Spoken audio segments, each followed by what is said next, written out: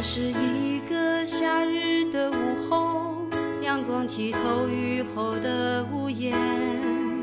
久违的彩虹升起在天边清风从窗外流进昨天的梦里。那时的太阳多么的刺眼像怒放的夏花一样绚烂。珍惜着彼此的拥有见证着光阴的变迁。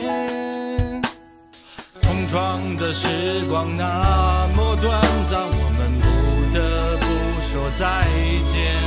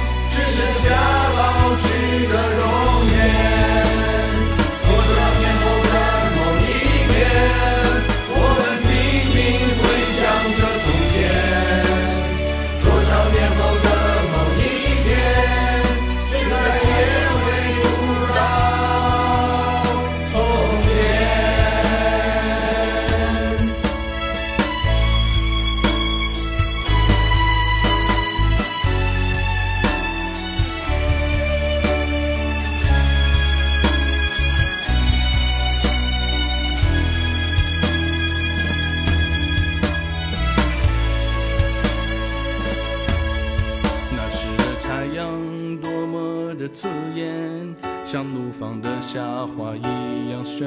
烂珍惜着彼此的拥有见证着光阴的变迁同窗的时光那么短暂我们不得不说再见